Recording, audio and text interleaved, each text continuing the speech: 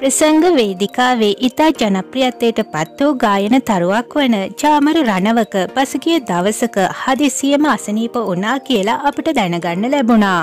ඒ ගැන කළ සොයා බැලීමේදී චාමර රණවක කළුතර රෝහලේ ප්‍රතිකාර ලබා ගන්නා බවත් ඔහුගේ තත්ත්වය අසාධ්‍ය නැහැ කියලත් දැනගන්න ලැබුණා.